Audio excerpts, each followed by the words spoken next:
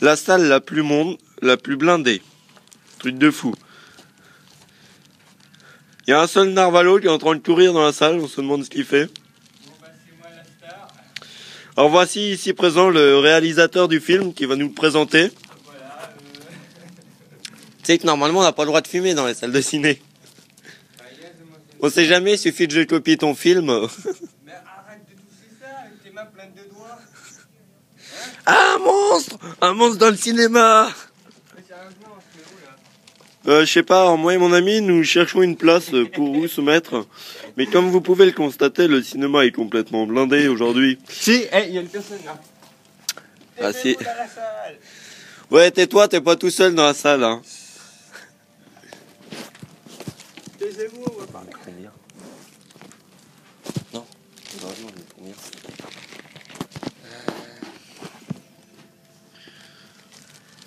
13. Jeudi.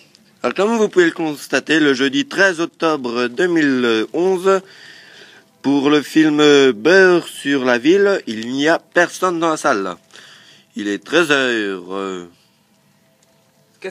14. Le film commence dans une dizaine de minutes et comme vous pouvez le constater, il y a un seul narvalo qui essaye de chercher sa place, mais nous savons pas où se mettre. Et voilà, voilà, voilà. Je vais monter pour la première fois sur la scène. Voilà mon écran, mon nouvel écran de télé. La salle la plus blindée. Un type qui fait, euh, je sais pas, il, il fait des signes. Il croit faire atterrir un Boeing 740, mais bon. Comme vous pouvez le constater, la salle de projecteur en haut, là.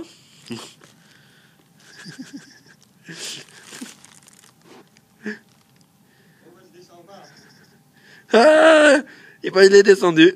Ah, ah non, on le voit pas, on voit plus. Alors voilà.